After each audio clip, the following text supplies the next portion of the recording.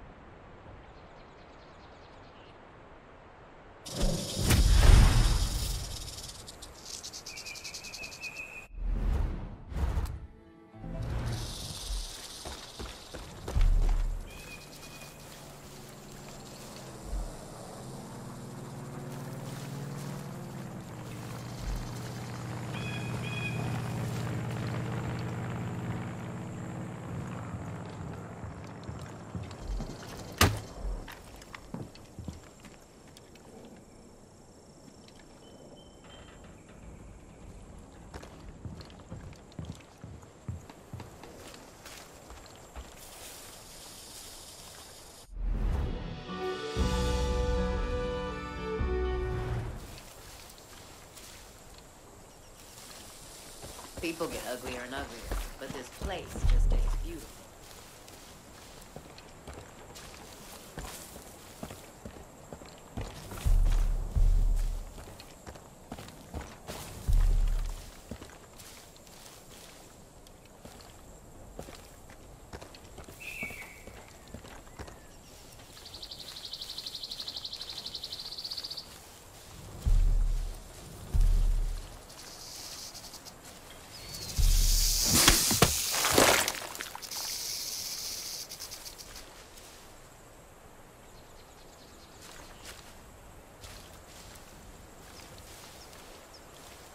What do we have here?